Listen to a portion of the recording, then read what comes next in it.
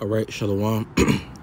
First off and foremost, as always, I want to say call Halayim Yahweh, Bahashem, Yahweh Shai, Bahashem, Rakakodash, and double honor be unto the elder apostles of Great Millstone that do rule and teach well. And of course, a sincere shalom to Ankim out there that pushing his truth through the spirit, through the power, and through the name of Yahweh, Bahashem, Yahweh Shai. All right, so in today's lesson, I'm going to go on uh, go into the uh, meaning of the word deliverance. All right. You know, and that's what we hope, you know, uh, to be, okay, delivered. Okay, because, you know, we're in captivity, man. All right. We're not in our kingdom. We're not in rulership. You know, we're uh, heavily oppressed here. All right. This is not our rest. You know, uh, everything here is is out of order. Everything here is, you know, disorderly. You know, everything here is wicked. The mindset of the people are just way off. All right. And Esau is, you know, he's starting to roll out, you know, um, his NWO. Okay.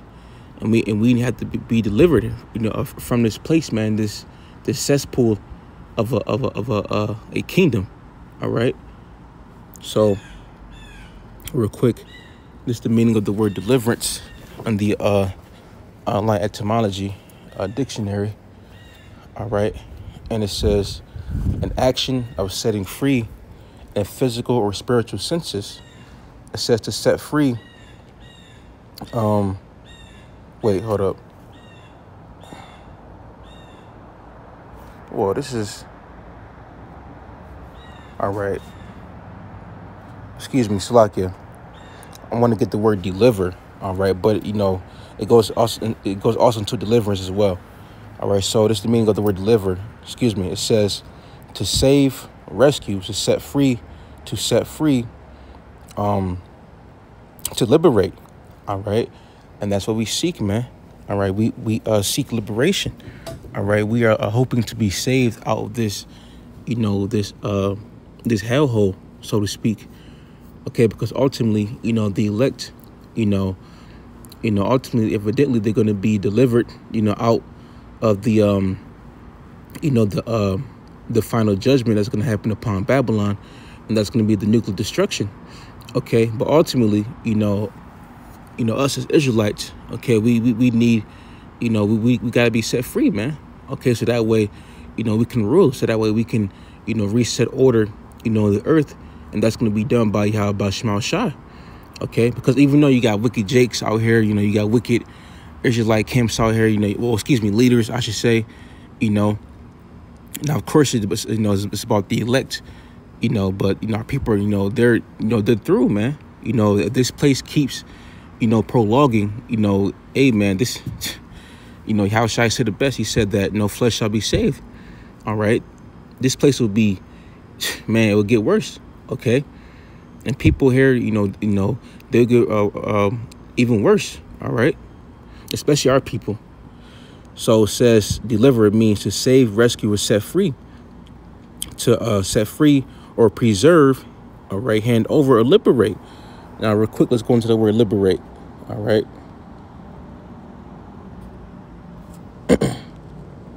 and all right, copy, paste that real quick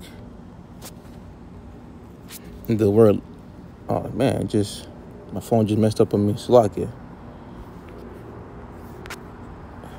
all right.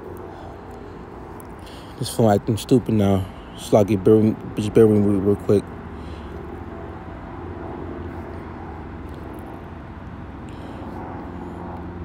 All right so the word liberate man Satan's working. All right so it says uh liberate to set free to release from restraint or bondage, and that's what we need. All right.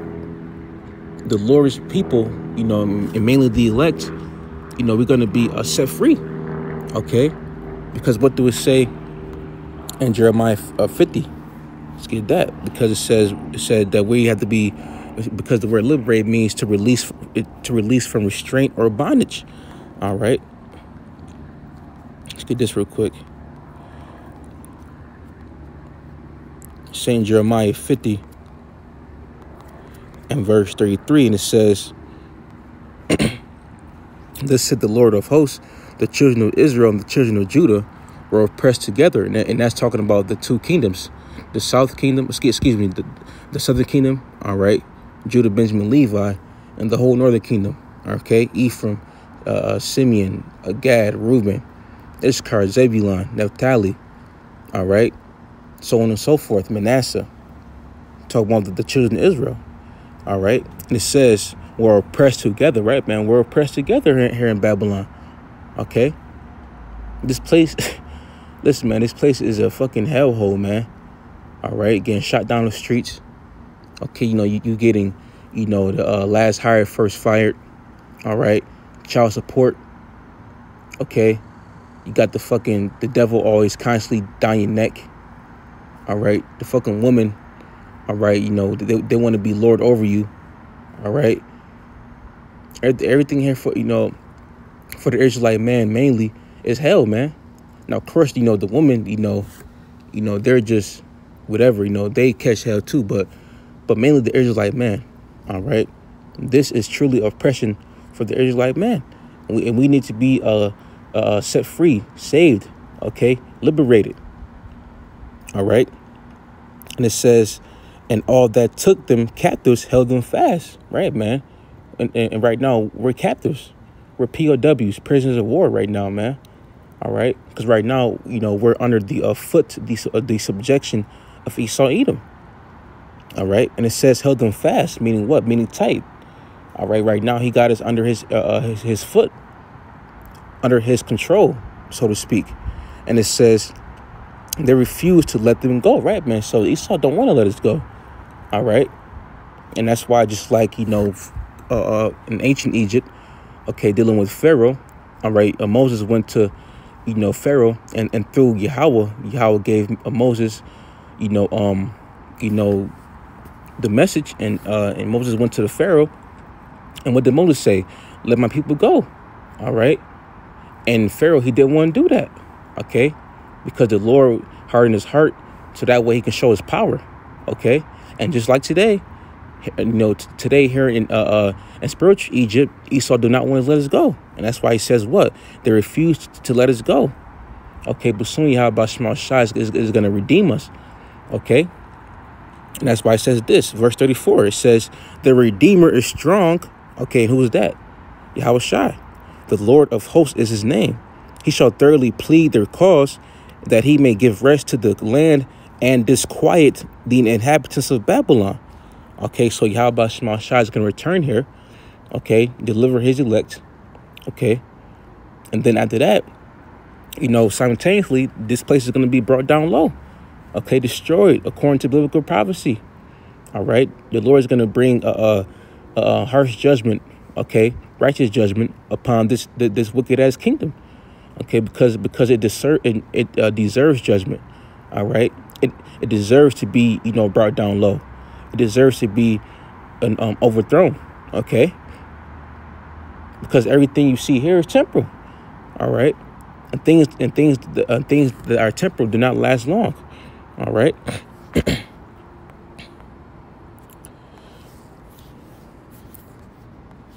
Just the book of Revelation.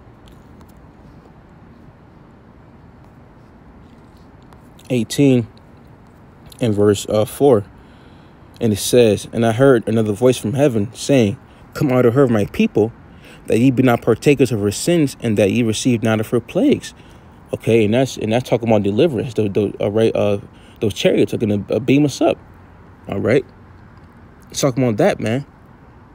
All right, it's not talking about you know, you know, actually, you know, coming out of the ways of Babylon and you know, not doing as people do here in Babylon, you know, and you know, and uh not partaking in the ways of this system.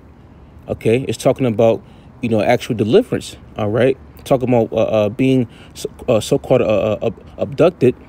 All right, from so-called UFOs, just like how Yahweh Shai was. All right, talking about being uh, being delivered. Okay, being set free, uh, being uh, liberated. Okay, being saved. Okay, because people think that we're uh, because people because people think you know, what, what, what, what really Christians, I should say, you know, these, these Christians think that, you know, they're so-called saved. They say, you know, uh, uh, JC three times. Well, no, you're not saved. Okay, because the scriptures say that we are not saved yet. All right. And if you're saved, what are you saved from? You're still here in hell, man. You're not saved. You're still here catching hell and being oppressed. All right. You're still uh, uh, uh you're still here uh, uh you know uh, um uh, um how can I say it um being trodden down by Esau. All right. So so you're not saved yet. All right. And that's why it says in the book of um, Deuteronomy, it says that no man shall buy you. Okay. If you go into the word buy, I believe it means save. No man shall save you. All right. And now that's why how Shai said, if you go into the book of Isaiah, the first seven chapter, it says that I shall meet thee as a man. Okay. So Shai is not going to come as a regular man to set us free. He's going to come in his angelic form, you know, and, you know, in his warlike apparel to deliver his uh his people, his elect. All right, to to uh to uh to, to come save his woman, the elect, from from wicked ass E man. Okay, because right now Esau got his pinned down, trying to, you know, cut, you know, uh, trying to trying to uh defile us. Okay, but guess what? The elect are calling out. All right, we're assigning crying about everything that he's doing and exposing him uh, right uh through Yahweh Shema Shai. And that's why Yahweh Shai is gonna come and return and set us free and save us from this damn devil. Okay? This is the book of Isaiah. Um, let me see, 26 and verse 20, and it says, Come, my people, into down to thy chambers, and shut thy doors about thee. Hide thyself as it were for a little moment until the until the indignation be overpassed. And what's that? Talking about the, the chariots, man. Okay. What's the chambers? Those chariots. All right. Come into thy chambers. Okay. And I believe if you go into a chamber, let's get it real quick. If you go into a chamber, let's see.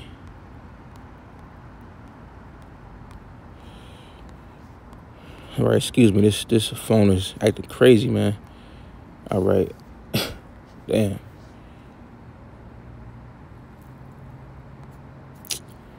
All right, Salaki, but this phone is it just man, say it, man. But you know, just keep going. So if you go into a chamber, you know, it really it means um like a like a parlor. You know, the parlor is, is, is a parlor is, is a basically basically a room, a, a, a private room for important people okay? And and who's that the elect you know because because because only the elect have the golden ticket all right? The golden ticket for deliverance. Now let's go to verse 21 isaiah 26 and verse 21 it says for behold the lord cometh out of his place to punish the inhabitants of the earth for their iniquity the earth the earth also shall disclose her blood and shall no more cover her slain okay so yahweh Shema Shai is not only gonna come and, and deliver the elect but also come and you know and uh and judge his place. All right. Just like how you see the movie ID4 Independence Day with Will Smith. Okay, it's gonna be just like that, but way, way, way more vividly. Okay, it's gonna be a day that you could never even fathom. All right. Things things are gonna get very, uh, very, you know, uh, uh, dark and gloomy out here, man. Okay, the Lord Yahweh Shema Shai is on the mission. He's not playing, but people think that he is. Okay, and soon people go know that prophets of the Lord have been among them, because what we're saying is kind of kind of past, man. Okay, and we can end it off on here. Oh, so I didn't get this part. Uh, excuse me. It says um, I skipped the part.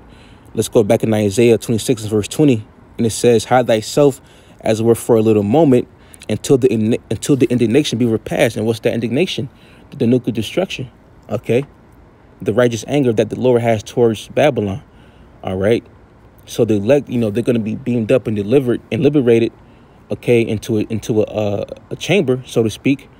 All right. And then while that's happening simultaneously, this place, America, aka Babylon, is going to be burned up into smithereens. All right. We can end off one here. Zechariah 14. Excuse me, 13. Zechariah 13 and verse 8, and it says, and it shall come to pass that in all the land, saith the Lord, meaning in what land? Babylon, America. Saith the Lord, two parts therein shall be cut off and die. Right. Let's talk about two thirds of our people. All right, because they're because they're evil. Now, of course, like I said earlier, ultimately, you know, Israel, we, hey, hey, we, we, you know, we all must be saved because you know we're Israel. You know, we're the chosen people of the Lord. You know, but on this side, they're going to be cut off and come back through the, the loins of the elect in the kingdom. Okay, and it says, but the third shall be left therein. Okay, and that's talking about you know the uh the elect. Verse nine, it says, and I will bring the third part through the fire, and will refine them as silver is refined, and will try them as gold is tried. They shall call on my name, and I will hear them. I will say, it, it is my people, and they shall say, the Lord is my God. Because right now, the elect are, you know, the elect truly are the Lord's people. Two thirds not in their right mind, so really, they're not the Lord's people. You know, by lineage, yes, but right now, in, in their in their state of mind, you know, no, because they're Gentiles. You know, they got to be cleansed by that fire. But us right now, you know, we're going through uh, we're going through the uh, the baptism, okay, the furnace the uh, the furnace of, of adversity, all right. And, and guess what? You know, the, this baptism is, is purging us, you know, and, and, right now the um, you know, uh, us being a bride, Yahweh Shema Shai right now is uh is grooming us, so that way you know once he come, you know, we'll be adorned, and, and you know then through that he's gonna deliver us, man. So that way the bride and groom can be can become one all you know all together once again. Okay? So that being said i was to say call lane la yahweh bahashem yahweh bahashem kakwadash and lord's will this lesson was edifying to Akim out there. That being said shalom